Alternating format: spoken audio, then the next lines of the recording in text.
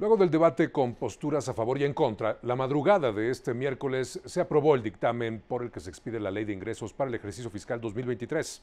Sucedió con esta votación, mire, fueron a favor 65 votos, en contra 44 y también hubo dos abstenciones.